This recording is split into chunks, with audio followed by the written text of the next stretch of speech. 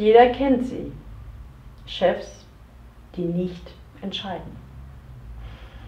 Wie Sie mit entscheidungsschwachen Vorgesetzten umgehen, erfahren Sie in diesem Video.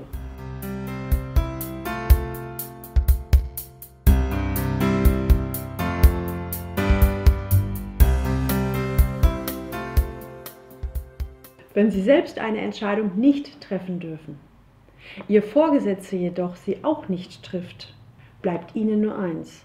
Sie finden Mittel und Wege, den Chef doch noch zu einer Entscheidung zu bewegen. Oder anders ausgedrückt, Mitarbeiter und Chef kommen zusammen, dealen miteinander, bis die Sache geregelt ist, um dann wieder auseinanderzugehen. Das ist vergleichbar mit einer Paarung in der Natur, bei der sich die Partner für eine Weile zusammentun, einander geben, was jeder braucht und dann wieder auseinandergehen.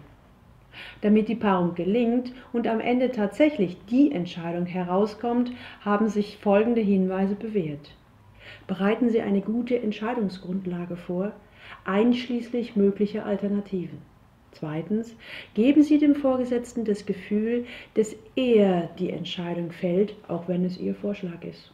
Und drittens, zeigen Sie Verständnis für das Zögern des Vorgesetzten. Machen Sie ihm aber auch klar, dass Sie die Entscheidung benötigen. Wenn das alles nichts hilft, streiken Sie. Sagen Sie dem Vorgesetzten freundlich, aber bestimmt, dass Sie ohne seine Entscheidung nicht weiterarbeiten können und halten Sie diese Ankündigung dann konsequent ein.